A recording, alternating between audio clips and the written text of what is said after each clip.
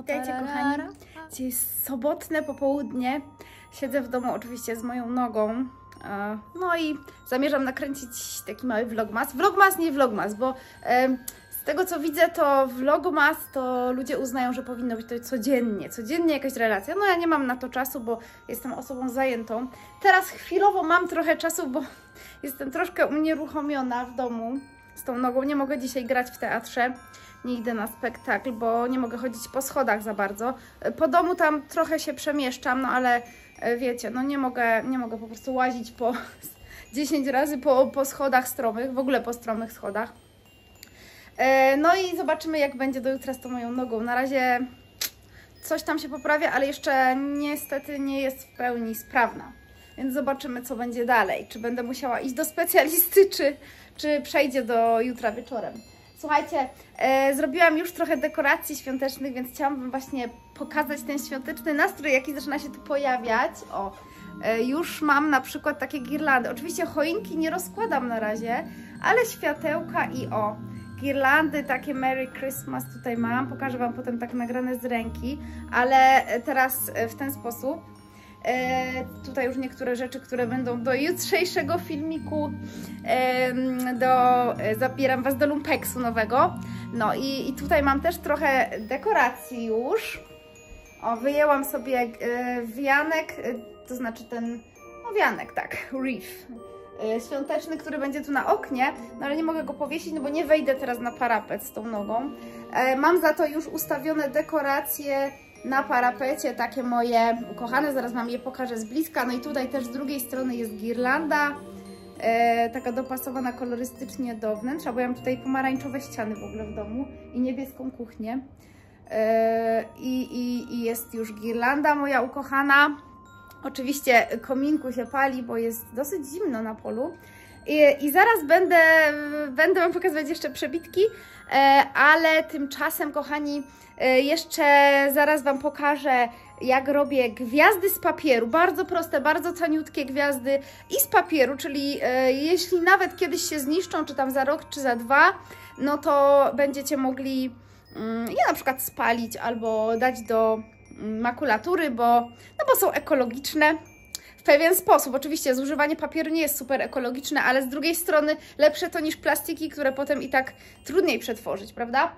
E, bardzo prosta e, ozdoba będę Wam opowiadać i pokażę Wam, jak w prosty sposób ją zrobić. Myślę, że możecie też to znaleźć na YouTubie, ale, e, ale łatwiej będzie już tutaj, skoro już tu będziecie. A, no i za chwilę też zobaczycie przebitki z mojego studia, bo zdejmuję takie neony, które miałam w studiu, właściwie takie lampki na ścianie, bo są do naprawy, tam się, tam przestało kontaktować coś. Myślałam, że to tylko spalone, zużyte baterie, ale niestety coś, coś nie styka już w tych lampkach, muszę je dać do reparacji, a tymczasem powieszę właśnie te gwiazdy w studio i pokażę Wam, jak tam już to tło moje zimowe w studio razem z choinką zaświeconą tym razem wyglądają, także już się nie mogę doczekać. To przechodzimy do tych gwiazd, a jeszcze szybka przebitka tutaj z ręki, bo w ten sposób trudniej widać. Nie, przejm nie przejmujcie się, kochani, że mam tu jeszcze trochę bałagan, jest sobota, jeszcze nie jest posprzątane wszystko. E, Tutaj jest jedna rzecz, którą zobaczycie jutro, nie opowiem tak za dużo na razie. E, O, i tutaj mój warsztat pracy, bo zaraz zaczynam tą gwiazdę. No i mój parapet teraz tak z bliska. Tutaj muszę wymienić baterię, ale już powyjmowałam sobie fajnie te dekoracje. Nowa e, ozdoba na choinkę, bo ja taką choinkę w stylu wiktoriańskim, trochę z ręcznie robionymi albo ręcznie malowanymi ozdobami daję. Tutaj jest domek, który się będzie świecił, ale jeszcze go nie świecę. No i ten, ten no i mam girlandę, tutaj już kuchnia jest na razie jeszcze w ogóle nie przystrojona. Tutaj mam prasowanie do filmików oraz do sklepu. O, jest. Jest mój, mój świąteczny klimacik już. No, uwielbiam ten świąteczny klimacik i wiecie co, pokażę Wam niedługo, bo ym, nowy, nowy pomysł, bo w zeszłym roku przerabiałam tą girlandę, która była w okropnym stanie, bardzo stara i brzydka.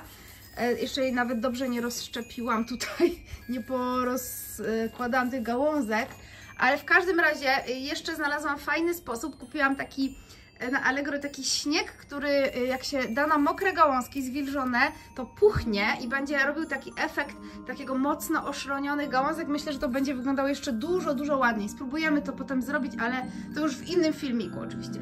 No i tutaj na razie bez lampek, ale y, taki wianek, który też chce, jest fajny, taki eko, z szyszkami, z takimi owocami, ale też go chcę przystroić tym szronem, bo, bo jest trochę ponury. No i tutaj mam taką w stylu angielskim, tradycyjnym, taką girlandę świąteczną.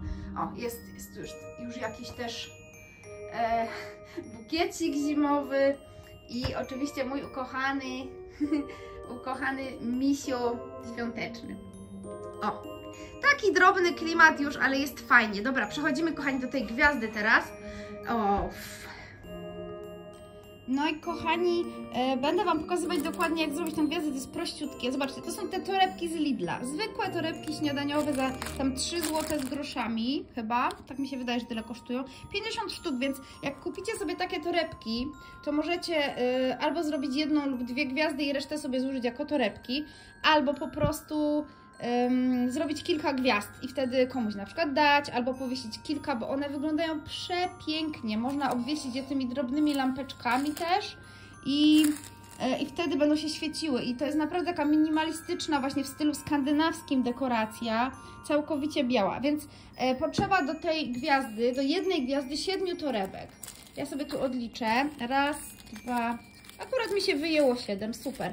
No i słuchajcie, e, zwykły klej taki, to jest akurat taki zwykły z Pepko do papieru, szkolny klej. Taki mam po prostu. Nieważne, to jakiś klej do papieru, nie musi być żaden e, Magic. I tak, nakładamy, kładziemy tą torebkę tak, żeby to e, niższe jakby otwarcie było z tej strony. I dajemy klej, trochę za dużo mi się nalało, wzdłuż na dole oraz na środku taką linię kleju, nie za dużo, bo przesada, e, linię kleju po prostu do otwarcia tej torebki. Później kładziemy na wierzchu kolejną torebkę po prostu, tylko żeby były równo ułożone. E, tu mi się trochę nierówno ułożyło, o. I po prostu sklejamy do tej torebki. I tak dalej. I w ten sposób robimy z wszystkimi siedmioma torebkami. Następna, to jest naprawdę proste, słuchajcie. Każdy to zrobi, nawet dziecko, bo ja to nieraz robię z klasami w szkole może nie z pierwszą klasą, ale ze starszymi klasami spokojnie już od trzeciej klasy są w stanie sami to zrobić. Nawet myślę, że druga klasa, e, większość dzieci by sobie też poradziła. E, sklejamy to, zaraz pokażę Wam dalszy etap, nie będę pokazywać jak kleję wszystkie torebki. W każdym razie naprawdę prosta i przepiękna rzecz. I kochani, skleiłam już, skleiłam już 7 e, torebek i teraz e, mam już je tak e, dobrze sklejone. No, trzeba poczekać, aż ten klej troszkę wyschnie, żeby się nie rozkleiło w trakcie robienia. Teraz będę wycinać czubek y, tego w taki kształt. Odetnę po prostu te boki w taki trójkąt tutaj, który się skończy w tym miejscu. Słuchajcie, dlatego dlatego y, tylko dotąd ten klej, że je, i nie można go, tego kleju dawać tu na boki, broń Boże, tylko dół i sam środek, bo y, jeżeli skleicie tu boki, to gwiazda Wam się nie otworzy, albo będziecie musieli użyć dwa razy tyle torebek, to jest bez sensu i też gwiazda mniej y, 3D wtedy wygląda. W każdym razie, już Wam pokazuję, jak to się wycina. Y, znaczy, pokażę Wam efekt, bo jedną ręką nie dam rady wycinać niestety, a nie mam statywu. No i zobaczcie, wycięłam tu trójkąt, po prostu. Odcięłam jakby górę w trójkąt i tu wycięłam pół serca z boków. Jak otworzymy gwiazdę, to wyjdą nam całe serca oczywiście. Także yy, teraz ostatni etap. To, yy, to samo robimy na końcu, czyli nakładamy klej znowu na środku i na dole. I teraz otworzę tą gwiazdę. Słuchajcie, spróbuję to otworzyć, bo muszę niestety telefon chwilowo tak potrzymać. W każdym razie otwieramy ją po prostu i doklejamy. Widzicie, otwieram ją. I teraz muszę skleić tą część do tej części, czyli muszę ją otworzyć sekundkę. Nie otworzyłam i skleiłam po prostu tył z przodem.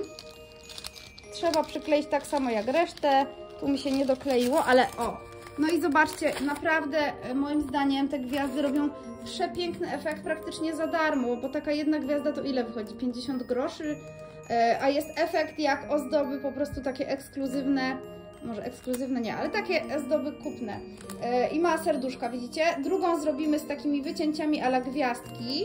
E, te brzegi torebek są właśnie takie wycięte idealnie w trójkąty i to wygląda po prostu jak gwiazda. Jakbyśmy zawiesili na tym e, lampki, bo patrzcie, tutaj do środka można wkleić taką, takie lekkie lampki na druciku. Tutaj można zamocować w środku tą bateryjkę a te lampki opleść naokoło tej gwiazdy i będzie się świeciła.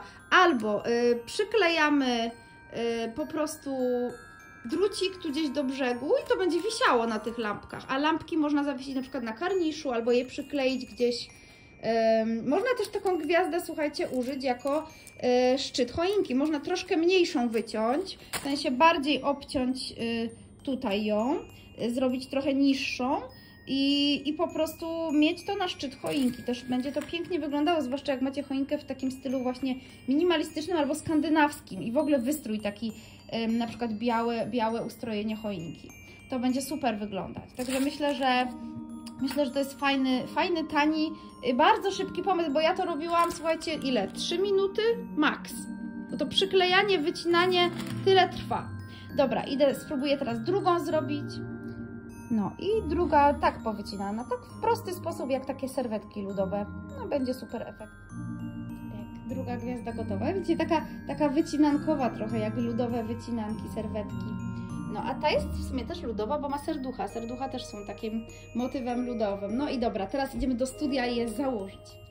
No i kochani, tak to wygląda. Są chyba trochę nierówno, ale a nie jest tak źle. Jest ogólnie spoko. Podoba mi się efekt. I, ojej, wpadłam na statyw. jest bardzo zimowo, jest tak świątecznie. Tu mi się odkleja mój napis. Będę musiała go zaraz przykleić. No w ogóle ten, ten e, obraz z tym podświetleniem też jest trochę już starawy. Ale myślę, że jeszcze da się go uratować tutaj. Będę musiała coś zrobić z tym napisem Moda Eko. Chyba odkleję te naklejki bo wydaje mi się, że niestety, ale one nie przetrwają. No tak. Muszę to po prostu odkleić i dać tu coś innego. Tak, zrobimy. Jak widzicie, czasem trzeba update'ować te, mówiąc tak brzydko z angielska, te swoje prace. No, a to ja robiłam sama ten napis, więc no, wiecie, czasem materiał jest oporny, tak jak na przykład właśnie ta samo przyklejna tapeta i zrobimy z tego, yy, zrobię coś tam, może na po prostu białe zrobię te napisy, żeby teraz pasowały do tych gwiazd. Dołożymy tutaj po prostu biały, biały ten, biały papier na ten napis. A ostatecznie tak chwilowo też może być. E, wydaje mi się, że super efekt, jak powiesić coś takiego w oknie, kilka takich gwiazd na różnej wysokości, albo gdzieś w rogu pokoju, to jest piękny, taki minimalistyczny efekt i bardzo, bardzo mi się podoba. Także no, taki nastrój już gotowy do nagrywania programu na jutro, kochani. Także zaraz się właśnie za to zabieram. No i żeby tak się z Wami świątecznie pożegnać, to chciałam Wam jeszcze bardzo podziękować. Słuchajcie, kochani, o jednak mi się trochę spuszyły włosy. E, chciałam Wam bardzo podziękować za, mm, za wspieranie mnie z, tą, z tym przedsięwzięciem sklepu. Oczywiście nie wszystkim się to podoba, że że skomercjalizowałam działalność. Y, były też krytyczne głosy, że nie fajnie, że coś tam. Ale wiecie co, ja się tym nie zamierzam przejmować, bo e, uważam, że nie ma nic lepszego i to każdy psycholog też Wam powie, niż e, praca, praca, która jest spełnieniem Waszych marzeń, a zawsze to było jakimś tam moim, powiedzmy nie zawsze, ale zawsze od długiego czasu było to moim i częściowo też Ani marzeniem, żeby taki sklep właśnie sobie otworzyć, a ja uwielbiam się zajmować kostiumami, ciuchami, dobierać rzeczy, dodatki, więc, e, więc po prostu um, uważam, że nie ma właśnie nic lepszego niż pracowanie ze swoją pasją, niż rozwijanie swojej pasji i na niej zarabianie.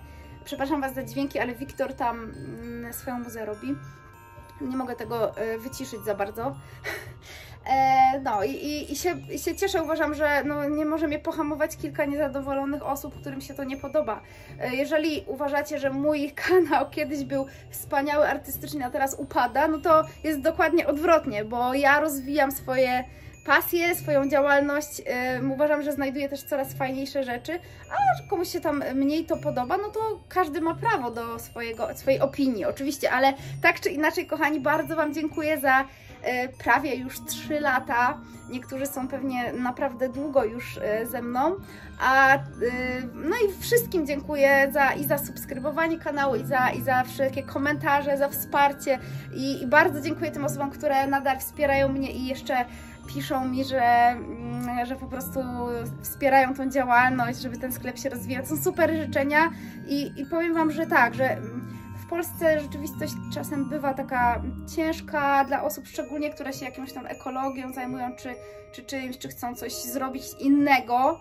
E, artyści też nie mają łatwo, dlatego ja też bardzo dziękuję za takie wsparcie e, i, i, za, i za, za wszelkie takie komentarze wspierające, bo to naprawdę dużo, bardzo dużo daje. I powiem Wam, że nikt nie jest z kamienia i każdy człowiek e, czasem ma chwilę zwątpienia i coś takiego jednak podtrzymuje wiarę. Także bardzo Wam dziękuję. Oczywiście proszę Was nadal o wsparcie i o zasubskrybowanie. Jeżeli jeszcze nie subskrybujecie, to będzie to super. A będę robić teraz trochę tych programów takich mm, właśnie dekoracyjno-artystycznych też, ale oczywiście, że też będą zakupy, e, że też jutro już będzie kolejne Zabieram Was do Lumpeksu, e, super sklepu z fajnymi rzeczami, także już Was zapraszam. E, I kochani, jeszcze raz bardzo Wam dziękuję. Jeszcze raz e, bardzo Wam dziękuję i, i zapraszam na kolejne, bo myślę, że będzie tylko coraz fajniej i coraz więcej, a nie właśnie coraz mniej, bo mnie w przeciwieństwie do, znaczy może nie w przeciwieństwie, ale je, nawet jeśli są osoby, które po jakimś czasie zaczynają odwalać tak zwaną hałę, bo im się już znudzi temat, to mnie ten temat coraz bardziej wciąga mm, i myślę, że, że tylko będzie to szło do przodu. Mam nadzieję taką. Także Kochani, pozdrawiam Was teraz bardzo serdecznie i mm, piszcie, czy podobają Wam się takie vlogi, vlogi, vlogmasy, nie vlogmasy. Czy chcecie programiki świąteczne e, nadal. E, niektóre pewnie będą połączone z holami, bo nie jestem w stanie nagrywać teraz e, przy tych wszystkich zajęciach tylu tylu vlogów po prostu świątecznych, ale będą na pewno różne inspiracje świąteczne, także buziaki, pozdrawiam, pa!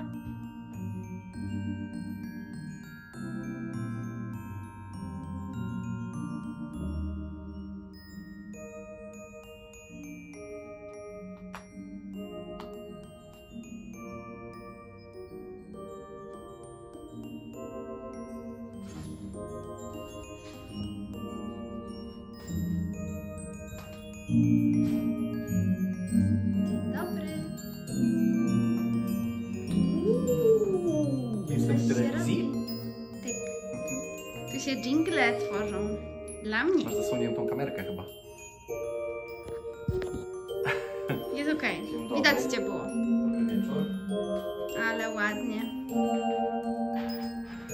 Widzicie, tutaj się tworzy muzyczka Nie, nie zrobiłem do takiego vloga. jeden do jeden, jeden do jeden, tylko dodałem coś swojego.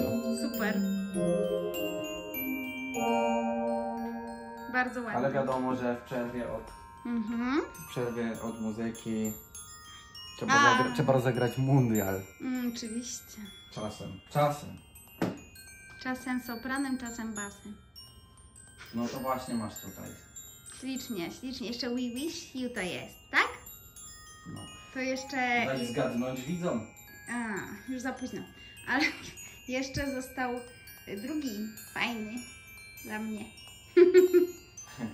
Ja nie, nie O, tutaj patrzcie, jak jest ładnie. Nawet jest łąbka w kształcie gitary.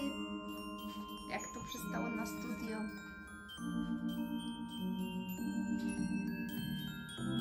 O, ci nawet. Żeby projekt Pięknie. kolorowy. Dobrze, to już usłyszycie w filmie całym. bye bye! Bye bye. Kochani, e, będę chciała Wam pokazać teraz kosmetyki, które w tym roku bardzo mi się sprawdziły. Przepraszam Was za brudne lustro, ale E, Coś tutaj wczoraj robiłam i czyściłam i zachlapałam. E, Kochani, e, pokażę Wam, co najbardziej mi się w tym roku sprawdziło. A zacznę od, em, zacznę od tego. E, Całkiem niedawny zakup, ale już jestem tak zachwycona, że na pewno będę to używać e, w przyszłym roku i może nawet jeszcze dużo dłużej. Słuchajcie, to jest Nashi Argan, naturalny, z naturalnych składników, taki olejek, lekki olejek do włosów. I ja nie olejuję włosów, mam do, dosyć dobre włosy, trochę puszące, ale właśnie przez to, że są puszące, to muszę używać tego. Kupiłam to u nas w Wieliczce na rynku w e, Katalunie, to jest taki duży salon fryzjerski, natomiast właśnie to jest super, bo to jest naturalne, naturalny kosmetyk, jak tutaj zresztą widać są wszelkie tam napisane te, sz- szklane opakowanie, to chyba tylko jest niestety nieprzetwarzalne. Czarny plastik, o ile wiem, jest, e, nie nadaje się do recyklingu, więc trochę szkoda. Mogli to zrobić z czegoś, co się nadaje. No, natomiast szkło jest jakby głównie w butelce. E, Super produkt, słuchajcie, lekki olejek e, i jak bardzo, bardzo mało, jedną kropeleczkę się tego daje na, na dłonie, ja to daję na suche włosy, ale naprawdę trzeba mało tego użyć, rozetrzeć w dłoniach i nałożyć na włosy i się tak nie puszą.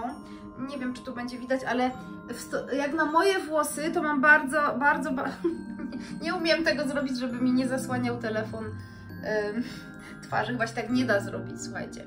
Yy, bliżej, bliżej. No nie da się tego zobaczyć, ale zobaczycie to może we vlogu jutro, bo będę też nagrywać go dzisiaj. W każdym razie jest, jest naprawdę super ta rzecz. E, bardzo malusieńko, naprawdę taką małą kropeczkę tego daje i to już starcza na wykładzenie całych włosów. Także to jest mega, jest drogie, bo to zapłaciłam za to st- 150 zł, jakaś zniżka była, więc tam może 145, ale podobno to starcza, patrzcie ile tego jest, to jest duże. E, objętość, e, moment, moment, nie wiem czy to jest 200 ml czy, czy ile? 100 ml. 100 ml, ale naprawdę y, używa się tak mało, że to może mi na rok starczy nawet. A na pewno na pół, więc w sumie cenowo nie wychodzi de facto tak dużo. E, bardzo fajna rzecz. Słuchajcie, druga super rzecz, która naprawdę, którą jestem zachwycona, to jest ten z Arbon inteligentny krem CC. Ja go używam zamiast podkładu. Y, i na zmianę z takim, y, z, z takim, z, o, z Purobio y, podkładem w kompakcie, takim pu- pudrowym jakby. Natomiast to jest mega fajne, bardzo, bardzo fajne i ma duży filtr. 30. Ja rzadko takie rzeczy używam, ale jak używam na przykład właśnie do vlogów czy do teatru, to super fajnie pokrywa. Ja mam odcień light i no nie jest wcale taki light. Ja, ja mam średnią cerę średni kolor, Jezus, nie, nie da rady tego. Nie da rady tego, słuchajcie, zobaczyć. Będę musiała Wam zaraz pokazać to na odwrotnej kamerze, poczekajcie. Teraz. E, Ja mam taką mm, w, le, w lecie bardzo ciemną skórę przez to, że słońce i łatwo mnie chwyta, ale w zimie mam raczej bladą, ale taką lekko żółtawą cerę i to jest fajny odcień dla mnie. Nie jest ani za żółty, ani za ciemny, ani za jasny, jest spoko. E, I to jest naprawdę super produkt. Polecam Wam. Wiecie co, bo e, jak chodzi o firmę Arbon, oni są, to jest wegańska firma i taka dosyć droga, z wyższej półki. E, Mają, no nie są tanie te produkty, powiem Wam. Kupiłam w takiej fajnej promocji 5 w jednym w lecie. Było 5 produktów, zamiast 500 zł wychodziło 250, więc w przeliczeniu na produkt wychodziła spoko cena i wszystkie te produkty są bardzo fajne akurat. Ja nie, jakoś nie sprawdziły mi się do tej pory kremy z Arbon, ale może trafiłam na zły krem dla swojej cery. To jest niewykluczone. Natomiast to jest fajne. I druga rzecz, którą uwielbiam po prostu, to jest coś, co używam teraz e, na co dzień na brwi. I to jest taki mm, jakby wosk e, właśnie w, kolorze brown, ja- jasny, light brown, light medium brown. E, I pokażę Wam, jak to wygląda. Taka, taką malutką szczoteczkę ma i to jest świetny kolor, bo nie robi za ciemnych takich czarnych brwi. O, taka szczoteczka jest. To sfokusować? O, taka malutka.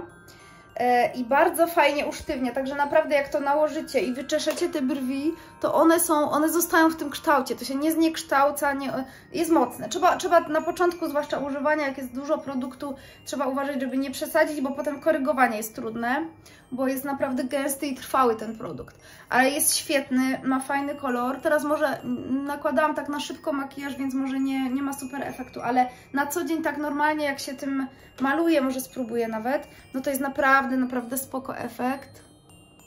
Nie wiem, czy dam radę tak Mam nałożone bardzo mało, bo jestem dzisiaj w domu z tą nogą moją. I no, w każdym razie nie maluje się jakoś mocno. Naprawdę bardzo łatwo się używa i bardzo, jak się trochę za dużo nałoży, to ja mam jeszcze taką moją szczoteczkę z, z lawery wcześniejszą. Już Wam pokazuję i sobie to wtedy tym takim jakby już prawie pustym produktem trochę rozczesuję, żeby, żeby nie sklejało się. Ale generalnie, jak się nauczy, nauczyłam tego obsługiwać, to to jest mega super.